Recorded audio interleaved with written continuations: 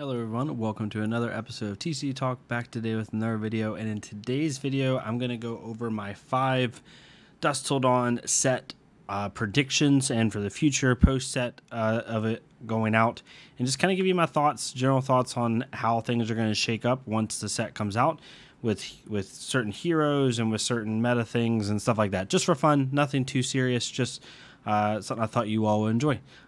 Um, I'm not doing my spoiler teaser today because you're probably expecting that. I just wanted to work on a little bit more. I wanted to do a teaser, but I'd rather the video be finished for tomorrow. So I know you all can understand that.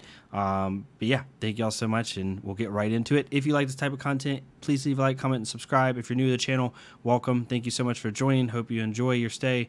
If you're a long-standing supporter, thank you all so much. Feel free to check out the Patreon and the Discord down below. So, I've done set predictions before. Sometimes it's meta specific, sometimes it's thematics and like just for fun specific.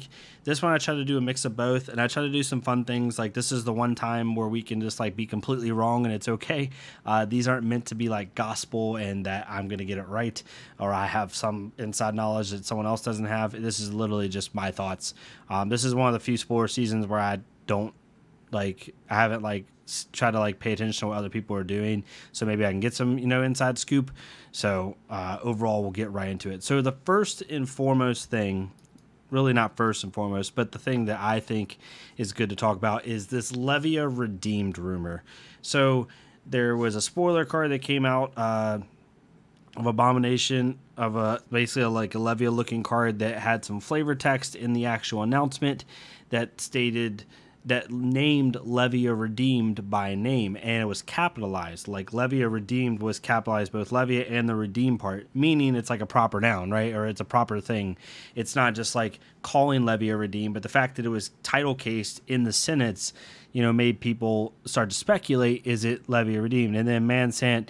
Uh, putting up a super zoomed up image of supposedly there's his spoiler card showing like a capital L comma or yeah, capital L, comma R, something like that. So people were thinking that Levia is going to get a new hero text, a new hero thought, um, which is possible. So I'll preface with this: if it happened, I wouldn't be surprised.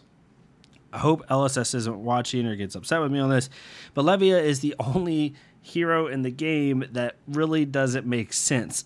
um, it's the only hero in the game that doesn't have a positive ability. Like there's no there's no incentive to play Levia really, other than being able to play things from your banish zone.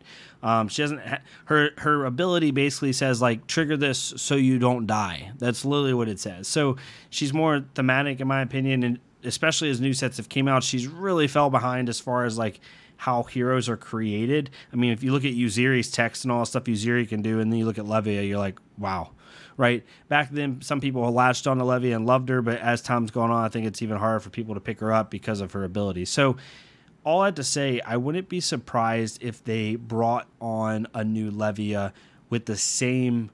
How do I put this?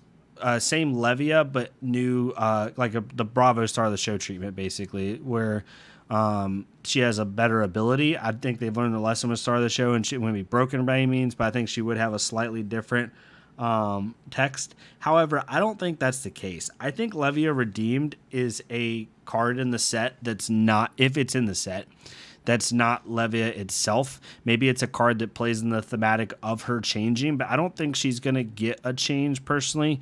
Um, you also could maybe see that she they just changed her card art and not her text, but that would make sense because if she's redeemed, maybe she's been ridden of the you know the disease that plagued her body, things of that nature. Not disease, but the evil that plagued her body when she called out to it. Uh, you know, it wouldn't make sense for have the same text, and that's what I think honestly shuts down the whole.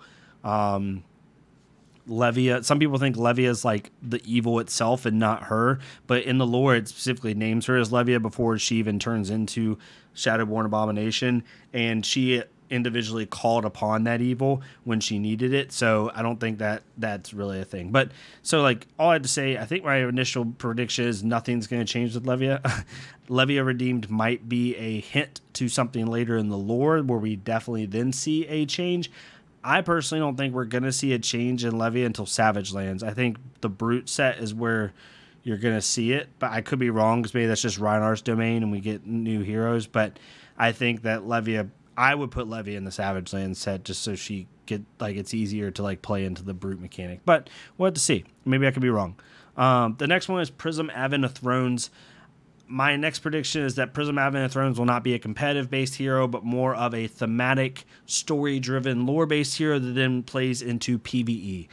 I know nothing about the cards. I know nothing about her kit. This is a blind prediction.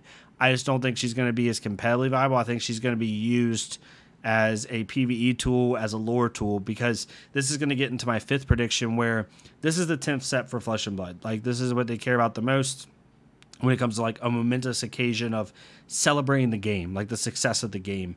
So I think that people are going to um I th- not people I think the staff and LSS themselves want to celebrate this set. That's why there's more marvels. That's why there's more legendaries. That's why it's such a huge set with serialized cards and they're introducing PvE and all this other stuff like finally introducing it fully.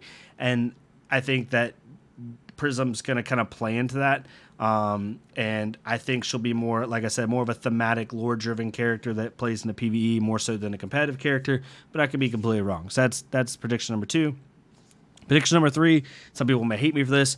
I'm just being a Boltyn hater, I guess. I don't think Boltyn's going to change in the meta. I think Boltyn's going to get some of the new cards that have came out um, with the new keyword mechanic. I think it's going to basically be like stealth versus contract with assassin, where it's like this cool new mechanic not really new, but it doesn't really do anything for them in the meta. It just is kind of like here's one way to play boltyn here's another way to play boltyn boltyn might get a little bit better because he might get a couple cards here and there, like the really powerful cards that help him do his game plan better. But I don't think Boltyn's gonna get better in the meta. That's just my opinion. Could be completely wrong. Just based off what I'm seeing with the card mechanics, it really seems like they took what they did in Assassin. They started with this with the uh, contract mechanic and then they moved into stealth with Arakni, and it really didn't change anything, right? Um, it's just a new way to play it based off the young hero. I do think Boltyn's going to get that, where he's going to get some new mechanic, or even how Katsu, when he got Tiger Katsu, I think it was more thematic than like competitive. Um, until maybe later sets it gets explored more, um, but I don't think Boltyn is going to change in that. So let me know if you're wrong. I'm not trying to be a Boltyn hater, just just my thoughts. Um, yeah. Fourth one. This is the one that I have a tin hat theory on, and I can be completely wrong. So they had the card where Shiyana and Prism are coming together, where like basically if you play it, it copies a card on the opponent's hand, like fully copies it. I think we might get an adult Shiyana um, as the third hero. That, that's super tin hat, super you know out there. I don't have any evidence to support that other than the fact of Shiyana is taking over Prism's body, it looks like, in the card art. And I think that there might be a way, and with the lore where, and she's been like in some of the pr- prior sets previously, I think there's a way where we get adult Shiyana. And another kind of reason I think to point to this is all the specializations. Like, yes, the specializations do line up with United We Stand, and it kind of goes into the PVE aspect. But I also think all these specializations also are going to are kind of a preamble to help build out an adult Shiyana character and make sure she has the card pool necessary in order to be playable in any sense, even in just like a casual sense. So I do think we could see an adult Shiyana, and that's kind of like that's my fourth prediction. And then finally, United We Stand. This goes into what I was talking about with Prism. Is this is the tenth set for Flesh and Blood, which is amazing. It's a thematic set. It's a big set. It's a set they want to celebrate, and I think that the purpose of this set, especially from the cards I've already seen so far, and this could completely change come two days from now at the time of recording this video. I'm recording on the 28th with the first set of spoilers. But I think the purpose of this set is PVE and celebration. I think like that's that's what they're making. I think there are some very powerful cards. They'll be playable competitive cards. I'm not saying every card's gonna be bad or PVE focused, but I think like when you think of like what is the core reason we're making this set, I think for them it was I think five sets ago they probably were like, all right, what do we want to do for our tenth set? You know, how do we want to do this? And I don't think they were saying that from a competitive standpoint. I think they were saying it from a like just a game standpoint, like a celebratory standpoint, right? Like it's like any anniversary, like big ones, five, ten years, stuff like that. You're like, okay, what do we want to do for that? Like you plan way ahead and you want to make it special. And I think for them, they're wanting to make it special with the thematics, with the lore, with opening things up, with doing PVE, um, with doing the marvels, the serialized cards, all these things. I think that's what's gonna drive this set and again, I want to say one more time, it's not to say that there won't be competitive cards and that they won't be affecting the meta in some way, but I don't see a huge meta shift from the set, in my opinion. I think they're just going to have a different focus. But could be completely wrong. Um, you know, I'll be the first one to say it if it does happen, but this is more just for fun uh, and kind of to get your thoughts on it as a community. Yeah. So that's my five predictions. First one being, I don't think Levy is going to get a change, at least not this set. I think Prism's going to be more of a uh, thematic PVE lore driven hero, the new Prism. I think Sir Boltyn's not going to really change too much in the meta based off his cards. An adult Shiyana, and then finally, just talking about the set in general. So, let me know what your thoughts are. Um, if you agree or disagree, it's totally fine. That's the whole fun part of this. We're going to find out in two days or three, four days' time when we see all these cards and see how things shake out. I'm super excited to reveal my card. Um, you know, it's always fun from whether it's a common or a legendary. Like the fact that I get to share, you know, a part of the game with you all, regardless of how powerful the card is, uh, is super great for me, and I'm, I'm really excited to do it. So let me know what else y'all want to see. Uh, y'all have the schedule on my Discord. Feel free to check it out uh, with my posting schedule down below. Um, and yeah, I'll see y'all next time on TCG Talk. Thank y'all so much.